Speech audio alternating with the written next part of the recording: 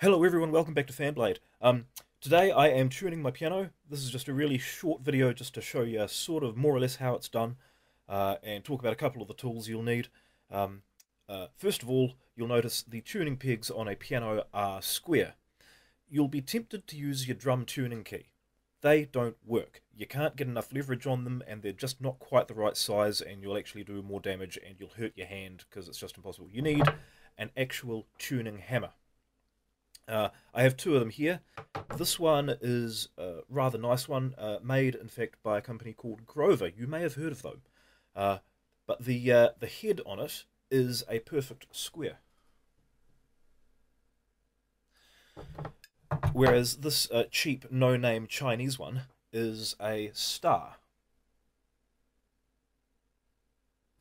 Now, the advantage of having the star is that uh, when you've got the square one, you can only ever put the thing on in in fact, in fact, you've really only really got two useful positions there.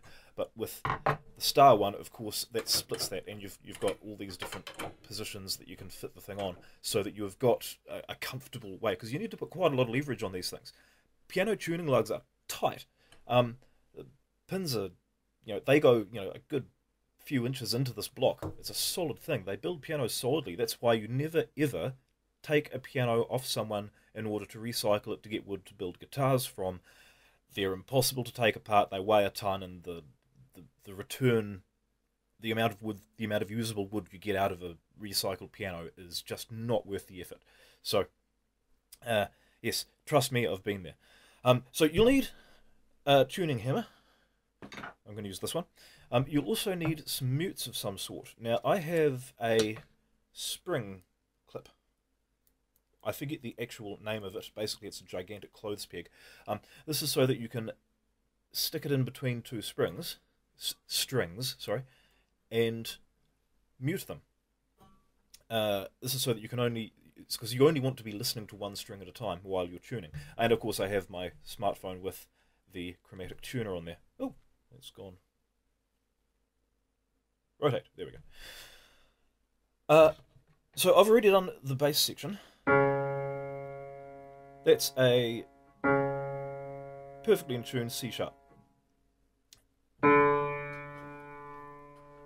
This is a D. It's a quarter tone flat. Basically, the whole piano was a quarter tone flat, and it was getting weird. It's been shifted a few times and not maintained very well over the last couple of years, but it's in its permanent home now, so I'm going to get it as close as I can. I'll give it a really, really good tune. I'll get it up to pitch, and then uh, uh, once the lockdown's over, I'll actually get a man in who knows how to do this properly. Uh, I consider myself a, a, rank amateur enthusiast on tuning pianos. I can play them, but uh, uh, this is very much not my specialty. However, I've got not a lot else going on at the moment, so let's do this. First of all, you want to mute one of the strings here.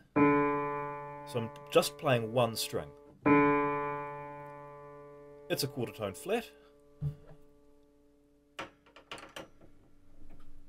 So we'll tune it up.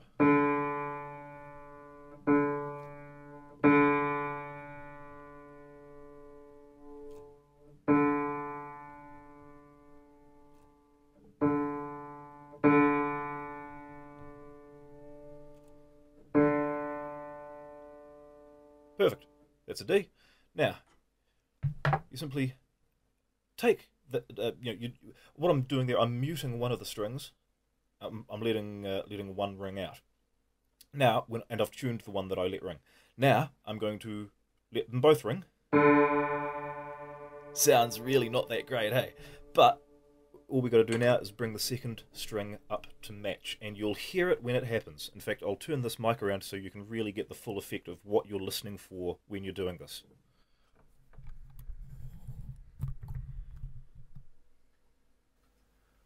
I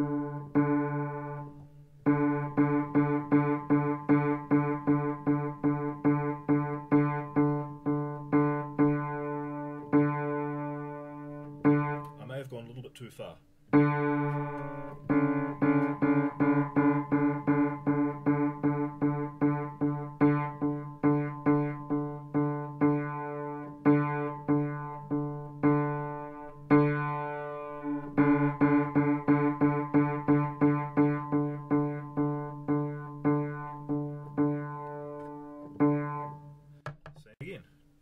D sharp.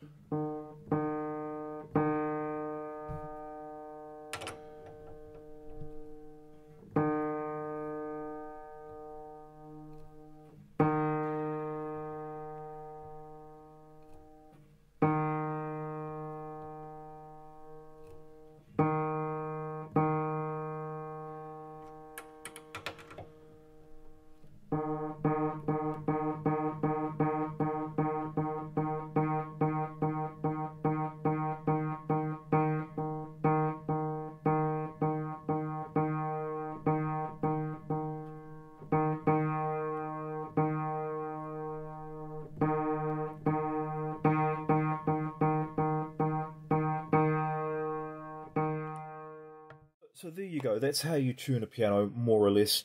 Um, I, I do recommend if you know someone who has an old piano that they want tuned, make sure it's not an expensive one, and just do some practice on an old junker. Uh, figure out how to do it. It's a difficult skill to learn. It's a very, very difficult skill to refine. Uh, but the more you do it, the better you get at it. And you know, best of luck to you all. Uh, thanks for watching. Hit the subscribe button, and I'll see you tomorrow. Thanks.